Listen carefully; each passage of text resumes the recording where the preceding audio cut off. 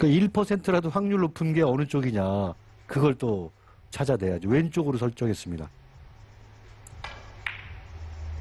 이상대 뒤로 돌리는 선택을 했습니다. 네. 한 점을 다시 만들어내고요. 점수 6대 3. 한 점을 더 도망갑니다.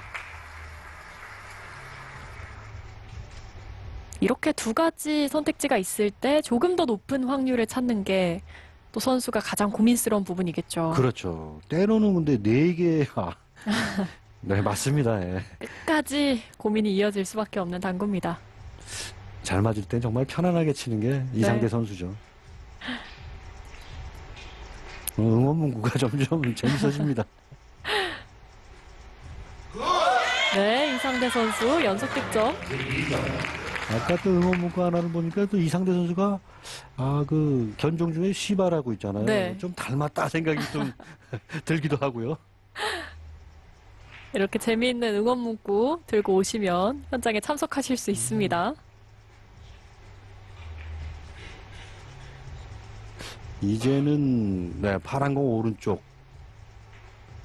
근데 정교하게 당점 조절로 지금 갈 수 있는 네, 길 같은데요. 세게 칠 필요가 없다는 얘기죠. 잘 찾아냈습니다. 네. 노란 공 이어집니다.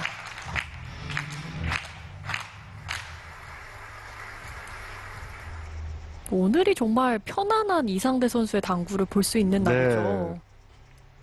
그 투어에서도 이상대 선수가 이런 경기력을 펼칠 때가 가장 좋거든요. 근데 음, 뭐 거의 10번 치면 9번은 정확하게 스윗 스팟에 딱딱 맞추는 그런 감을 주는 선수거든요. 네.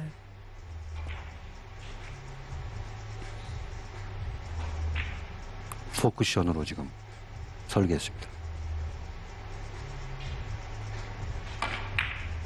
껴치기.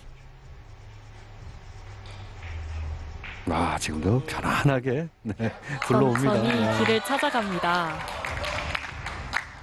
니다. 높점. 점수 9대 3.